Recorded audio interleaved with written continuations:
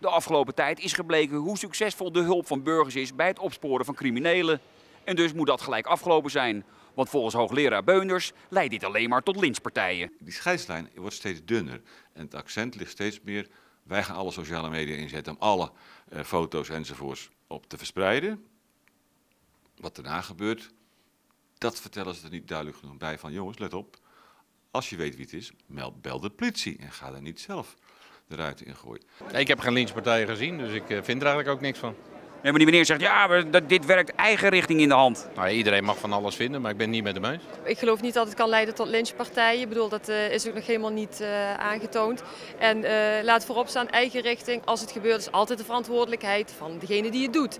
En dat moet ook niet gebeuren. Maar wat hier voorop moet staan, dat is de opsporing. Maar jullie moeten wel weten waar die grens ligt tussen oppakken, aangeven enzovoorts. Vasthouden eventueel. En dan eigen richting, want hoe ver mag dat gaan? Maar dat weet iedereen toch? Oh ja? Nou, ik denk van niet. Volgens mij zijn er uh, nog weinig ongelukken gebeurd. En het is altijd een kwestie van proportionaliteit, altijd een kwestie van afwegen. Dus uh, volgens mij gaat het tot op heden heel goed. Volgens mij is dat niet gebeurd. Nee, maar dat zou wel kunnen volgens meneer Beunders.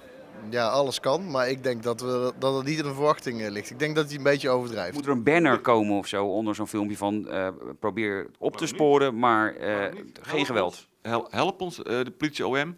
Hè? Probeer ze te lokaliseren. Geef door aan de politie waar ze zitten. Prima allemaal. Maar, die banner, ga niet over tot eigen richting, want dan ben je toch strafbaar. En het laatste, dat mogen ze wel duidelijker zeggen, dat is mijn boodschap. Nou, lynchpartijen zitten er niet in. Nou ja, die moet je wel voorkomen natuurlijk, laat maar helder zijn. Maar laten we het nou eens een beetje rationeel benaderen in dit land.